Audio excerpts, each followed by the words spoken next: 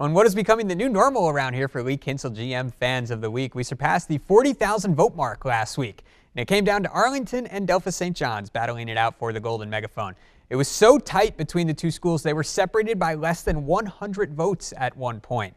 But the Blue Jays take the Golden Megaphone. They are our latest Lee Kinstle GM fans of the week. And as you, the fans, continue to pack the gymnasiums, we've got six finalists for you again competing for the Golden Megaphone this week.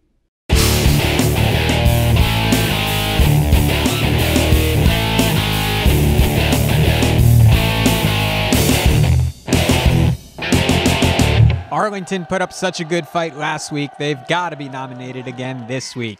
Crestview fans wearing all red showed up in full force for the night's game at Lincolnview on Friday night. The Defiant student section was rowdy during their WBL victory. And Camouflage at Elida, Bulldog fans are finalists this week. And any organized dancing like they had at Jackson Center, that won't go unnoticed. There you go. Oh, they got a little line dance yeah, going. Cotton Eye Joe oh, line oh, dancing. boy.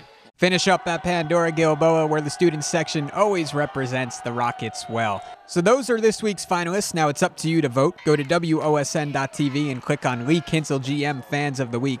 Vote as often as you'd like. Polls will remain open until 5 p.m. on Saturday, and I'll reveal the winner of the Golden Megaphone on the Sports Report that night.